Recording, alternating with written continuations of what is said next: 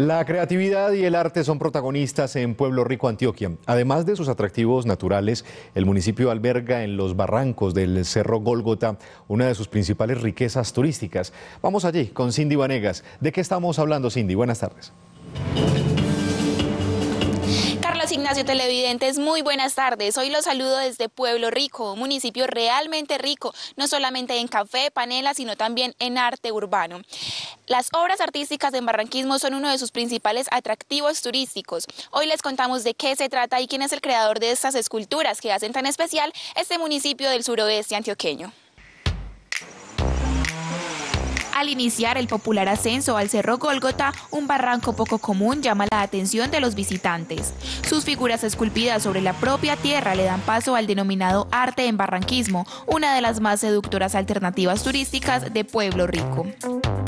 Esta obra de barranquismo es una obra urbana, un arte urbano, un arte callejero que nació no directamente acá en Pueblo Rico.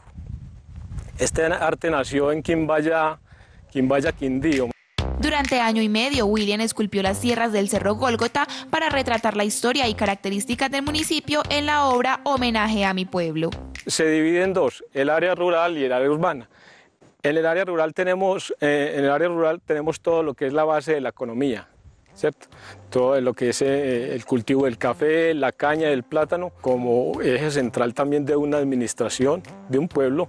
Tenemos la, la, eh, la representación de la mano con el cetro que representa el Poder Ejecutivo, o sea, la Administración Municipal, las fiestas tradicionales que son muy de, mucha atracción turística para este municipio. Se dividió, como pueden observar, por un Cristo que representa como, como ese Cristo del Gólgota, eh, esa parte de peregrinación que, que, muchos antioqueños o muchos colombianos también vienen y, y quieren visitar.